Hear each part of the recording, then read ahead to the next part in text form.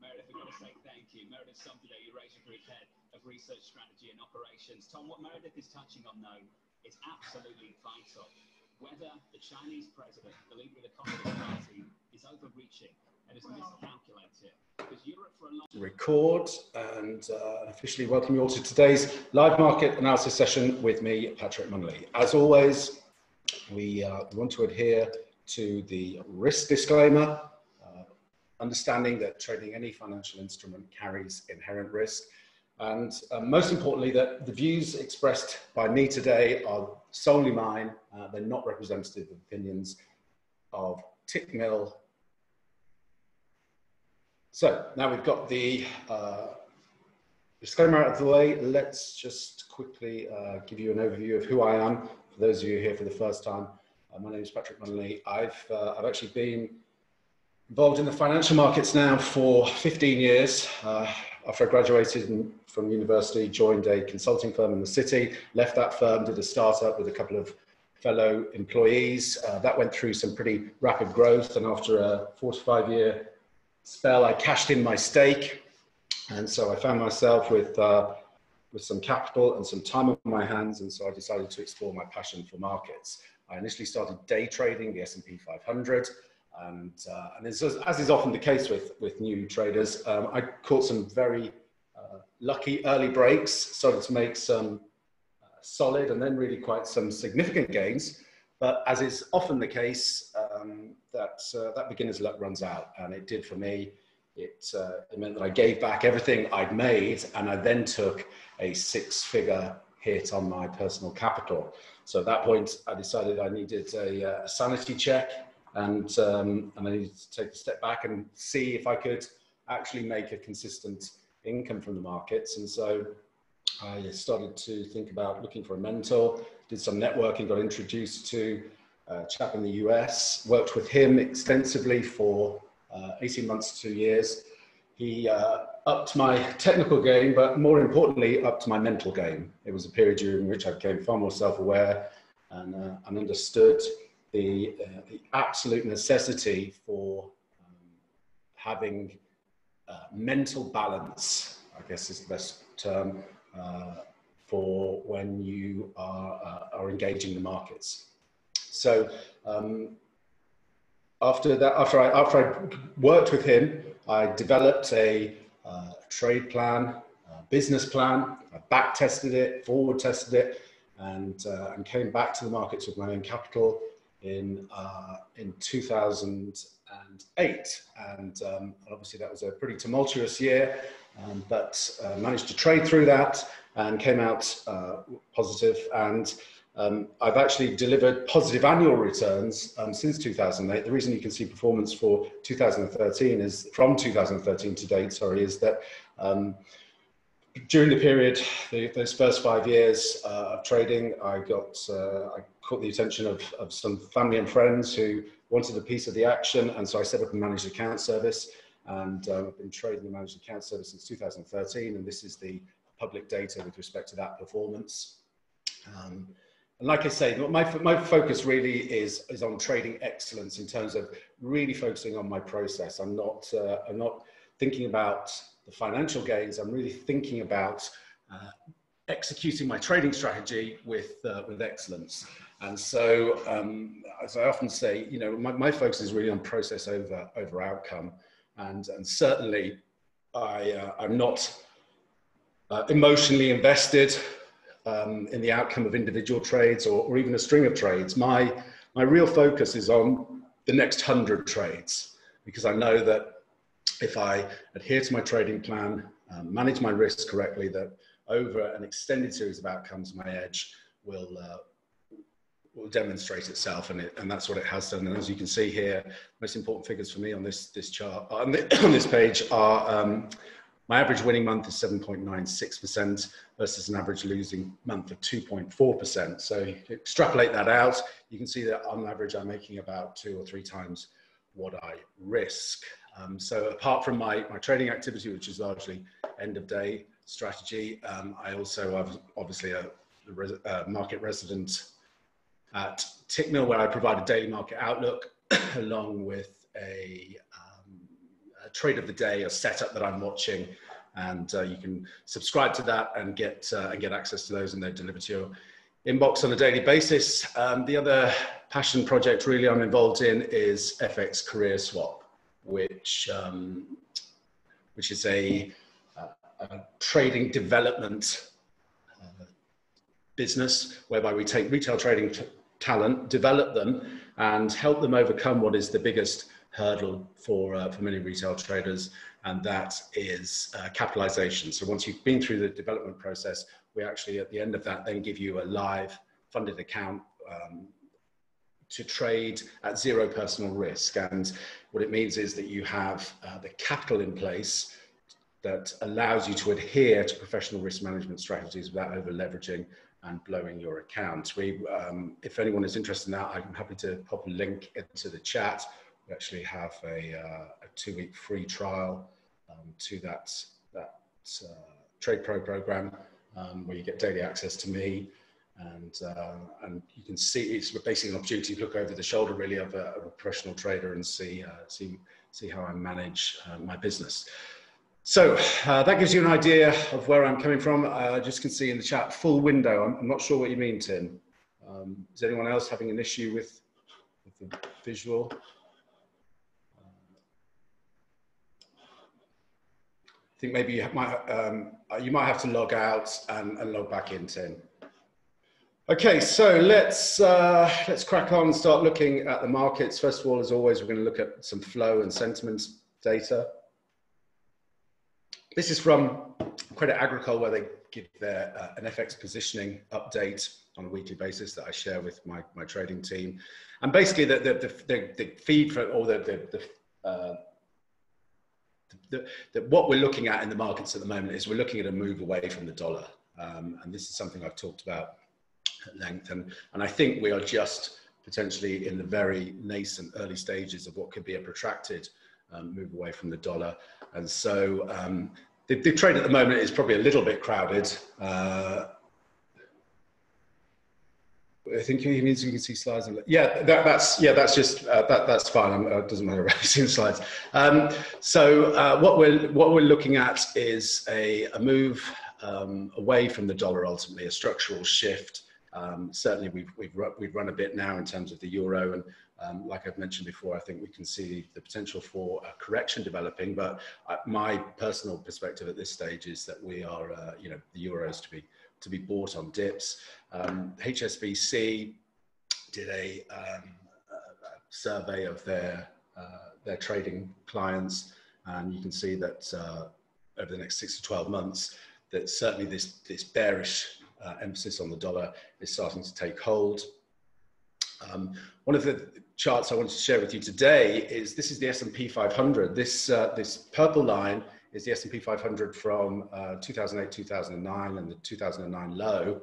And um, whilst many have been talking about uh, a 1929 or 1930 crash type perspective, um, you can see here, we, uh, this is overlaid with our current price action in the S&P 500 and we can certainly see the similarities in terms of the correction uh, sorry, the, the, the, bottoming process that we have seen um, with the S&P.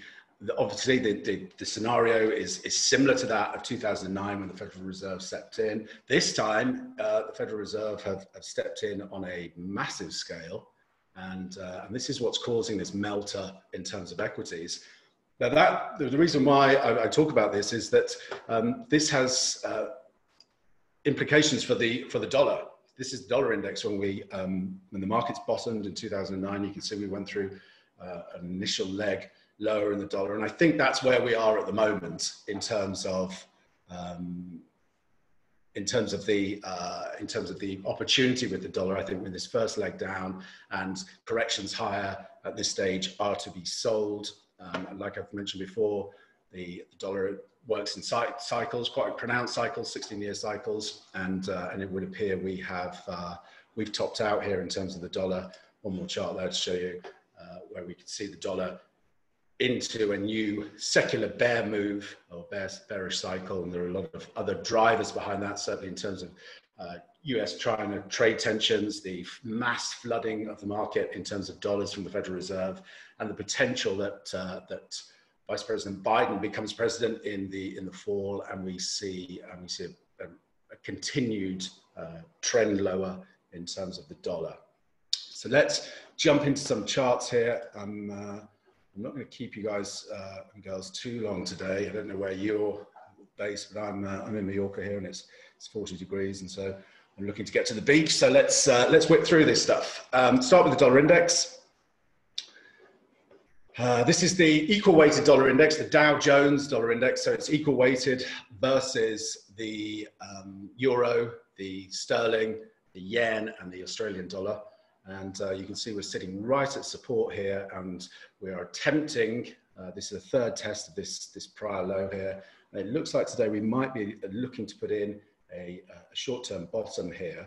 And what I'd be looking for is certainly a, a retest of this descending trendline resistance, but potentially we move into more of a, a, range environment for the summer. We could be back up into this sort of area here, um, setting up a potential head and shoulders type scenario. Um, August has a tendency to be a relatively good month for, um, for the dollar from a seasonal perspective, and it tends to be a, a, month where we see consolidation in terms of equity markets. So this would fit that pattern, um, but certainly we get up into this trendline resistance. Any bearish reversal patterns here, and um, and it, you know shorts would would certainly be be interesting. But it, I'd anticipate uh, a correction to develop now in the dollar. If we look at the DXY, this is the broader dollar index, and I've uh, I've outlined some some scenarios here. Again, we're testing just just into these prior lows. It's 94.65. The trend line support here that's broke. So I can see it's trading back up into there, and then we probably consolidate during the summer. Um, and then into that September, October time when we've got the elections, uh, you know, the elections heating up, then I'm certainly looking for another leg lower in the dollar. So any moves back in to test this, um, this trendline support broken now, act as resistance, bearish reversal patterns here will, uh, will be selling opportunities. Similar to the idea I just talked about here in terms of the equal weighted index, getting up into that potential for a, a head, and, head and shoulders type scenario. We could see the same situation here in the equal weighted index. It's hard to see at this point what would be the catalyst for, uh, for such an exaggerated move. At this point, I pre prefer, my base case scenario is that we trade this type of pattern here and, uh, and ultimately are heading lower. And, um, and I can see us trade, I mean, we certainly should be testing the, uh, trend line support here um, into, into the, uh, the four Swissy. Uh, looking for the Swissy to get a test down into this uh, projected descending trendline support and, uh, and, looking for a bounce there. Nothing to do at this stage in the Swissy. Um, the Euro, obviously, like I said, I'm looking for um, a potential correction here, which we can see there's a potential that we put in a tweezer top here. We're testing the 161 extension of the prior corrective move, and we're also sitting at the monthly R2, midpoint of the projected channel. So this would be a, a, a natural place where we could get a correction. So for me, what I what I need to see for, to, to be able to deploy short positions here will be a close back below this volume weighted average price. Now, obviously, uh, Thursday today, Fridays and Mondays tend to be from a from a statistical perspective, uh, they tend to offer the higher highest probability of seeing a seeing a top or a bottom in terms of the euro. So we'll see. We might consolidate here today, uh, get a, an inside day, and then break lower um, Friday or Monday. But certainly we could get a pullback um, to test ascending trendline support now coming in at this 114 area. Um, and ultimately what I'm looking for is that we test, get up higher to test the equality objective. This is the equality objective versus this swing here. So this is an equidistant swing. So I'm looking for 118.39 uh, as a, the, the near-term objective. Then I see the potential for some consolidation, similar to what we saw back down here. But ultimately, I'm looking higher in the euro. Uh, 120 would seem to be a, a reasonable upside objective and, um, and potentially up into the 122 area. But in the, in the near term, I am looking for a, potential for a corrective pullback. But like I said, those, that corrective pullback, whilst I'll tactically trade it on the short side, I'll, um, I'll certainly be looking then to add, uh, long positions once we get a, a reversal setup. If we break the ascending trend line support, then the next downside objective for me will be the equality swing here. So the last corrective move we saw so again, that would that doesn't take us meaningfully lower. It takes us back into these prior highs here. So we could see 113.50 Um, and, uh, and, like I say, what I'm watching for then is once we get down into this area, we'll be bullish reversal patterns. This daily time frame, obviously, this is the time frame I trade. So um, bullish reversal patterns to set long positions, ultimately looking as an interim upside objective, this 118, and then on to, on to 120 as we head into uh, September, October, November time. But for now, look, uh, look for a pullback, I think, is, uh, is a reasonable uh, probability and, uh, and then trade that correction and then look to uh, re, re, re, reposition on the long side for this move up into the 118 area. Euro yen's also an interesting juncture. We've got a potential double top here. We've got some really nice um, momentum divergence as well. So again, it's got some work to do here to get back down below the uh, the VWAP. So that's 123.20. So 70 or 80 pips uh, if we if we do see a rollover today. More likely than not, what we'll see is consolidation. Then we'll get the rollover. Like I say, Friday, Monday will be the, the ideal times for that. And then we have, uh, we have an opportunity then to do something on the short side in the euro yen. Got a channel here. So I'd expect, expect us to get back down into this 122 area. And again, from there, we'll see how we trade. If we get bullish reversal patterns, then uh, the long positions will be warranted. And I think we're going, could be up into the 129s in terms of the, uh, the euro yen. But like, like with the euro, happy to trade it on the short side from a tactical perspective, but structurally, I'm looking to be long the euro. Um, trading euro CAD here um, into the uh, range resistance and the equality swing, ABCD here, 155.27. Looks like we're going to, we are going to roll over here today. Uh, obviously, we wait to see the close, um, New York close for, uh, for, putting positions on but uh, certainly we're in range resistance. We've achieved the equality objective. We are uh, rolling over in terms of momentum studies. So we can get a close back through um, this 154.50 area, then short positions uh, will be deployed there. Euro Aussie, looks like we're potential double bottom here. RSI stochastic would prefer to see that down below 20, but um, certainly this uh, keeps, it's in fitting. You'll get, you'll, you can see the theme here in terms of uh, Euro strength. Euro Kiwi, at the central tendency, the vol bands have flattened out here, so we could certainly see a, an equality move.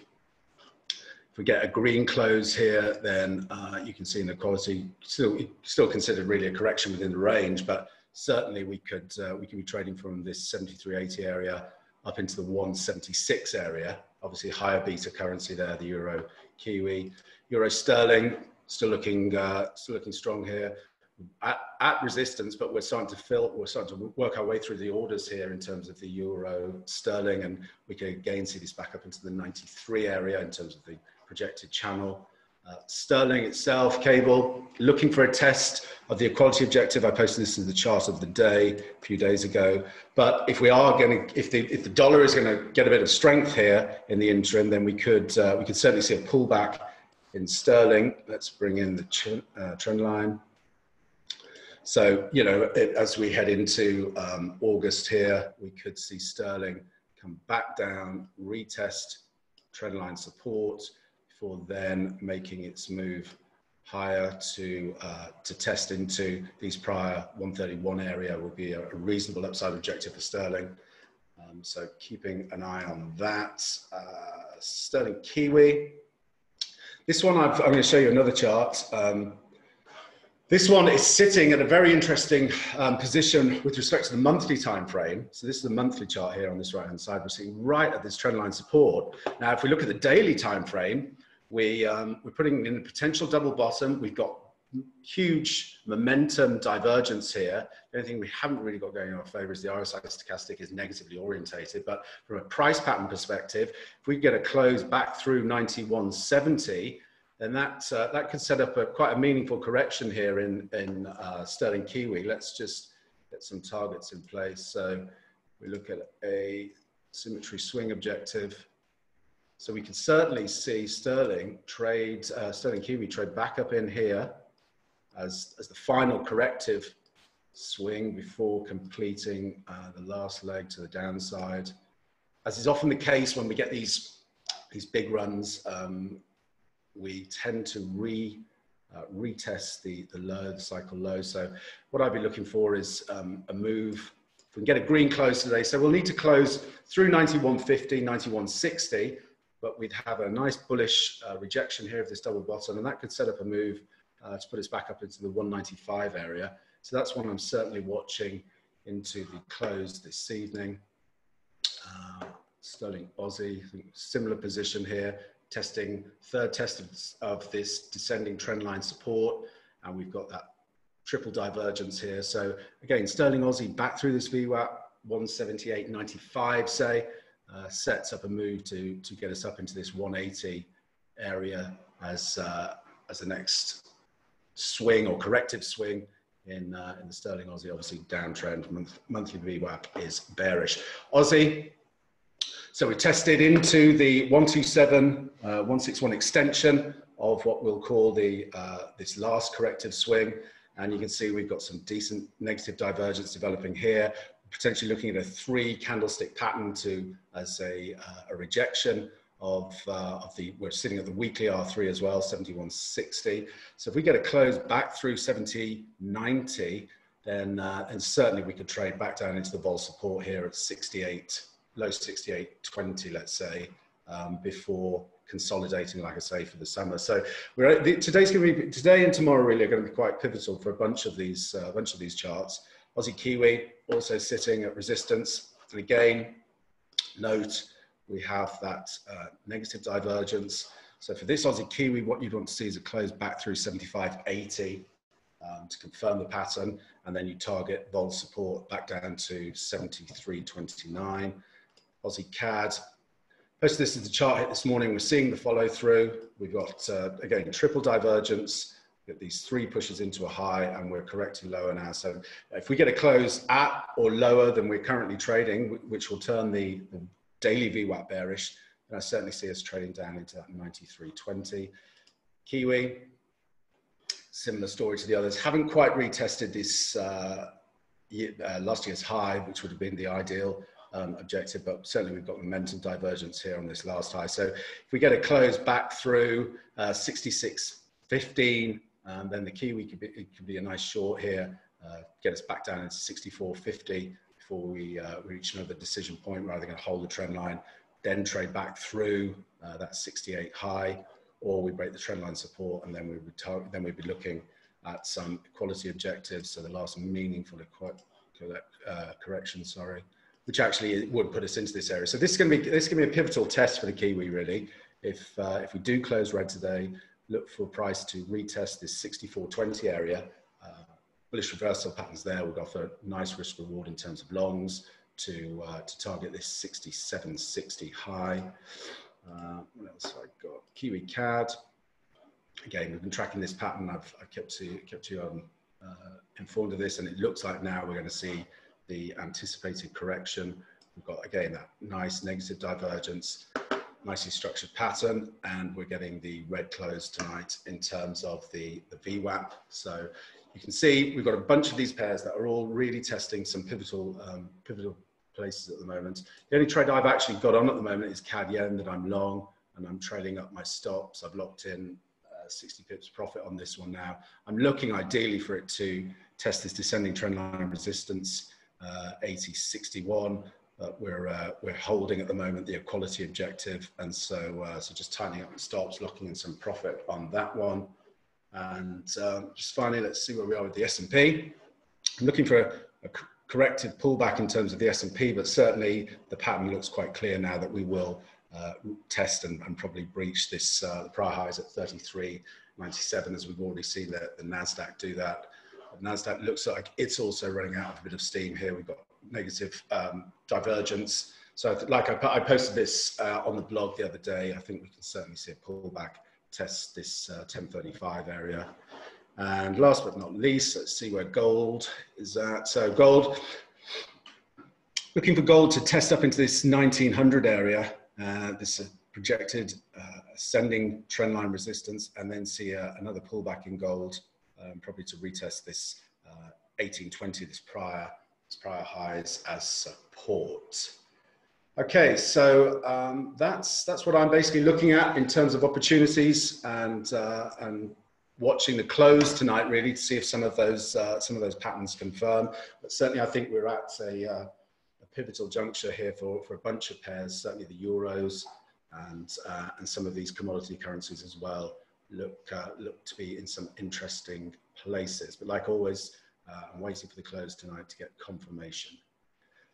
Okay, traders, are there any questions?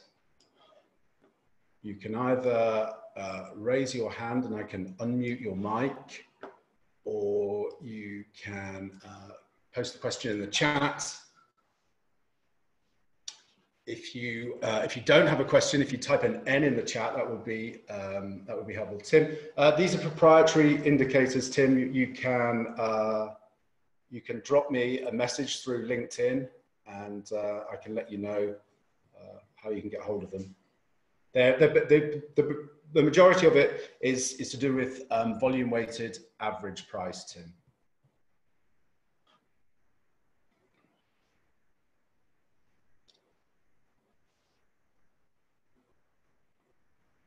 Okay, I'll just give you another uh, 30 seconds here. Any questions? Okay, uh, Farhan. Hi, Farhan, can you hear me? Have you got a, a microphone, Farhan? No.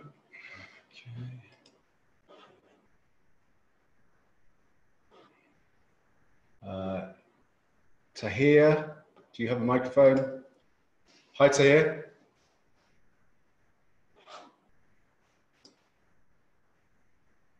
No.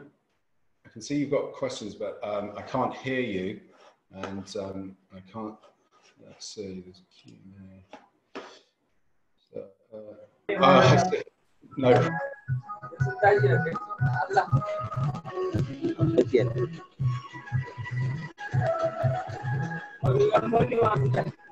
Why you? So, Shiva? Okay, what was going on there? Um, okay, if there aren't any other questions, uh, guys, I'm going to wrap this one up here. Like I say, keep an eye on some of these. Uh, first time here, I just want to say thank you for another logical run through. Thank you, Marku. Appreciate the comments. Uh, Infinix Smart. Uh, uh, I'm not sure what uh, what that question refers to, Infinix. So again, when can we? I'll um, one second, guys. One second. One second. Uh, one second. I'm just going to post a link for you.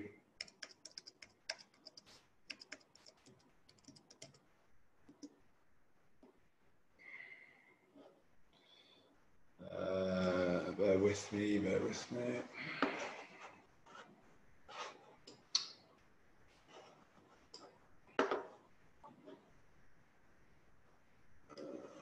Okay, indicators. I'm going to post a link in the chat now for any of you who are interested in the indicators. Uh, yes, Esteban, I am looking for a correction in the uh, in the DXY. Um, I'll just go back to the chart for you in case you missed it. So uh, I'm looking for this type of uh, scenario to develop in the DXY. Um, but again, if we take out these lows, then, uh, then all bets are off and this could become a quite an aggressive move lower. Um, they're, they're not they're um, they're volume weighted average price bands uh, to here. They're not uh, they're not Bollinger bands. Function slightly differently.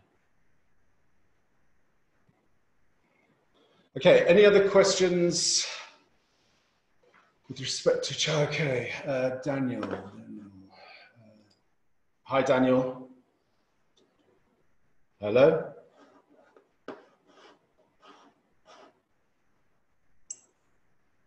You got a, a microphone, Daniel? Okay, uh, can you hear me now, right? I can, yeah.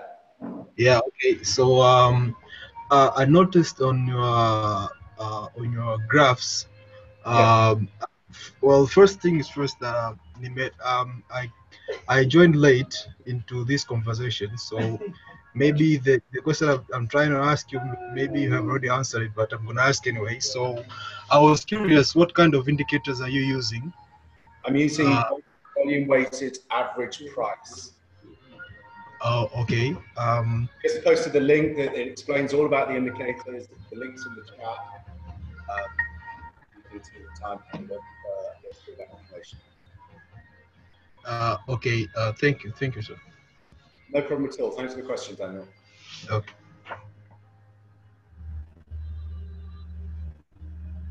Okay, there aren't any other questions. I'm going to wrap this one up here and uh, I'll catch you all same time next week. Thanks very much. Bye now.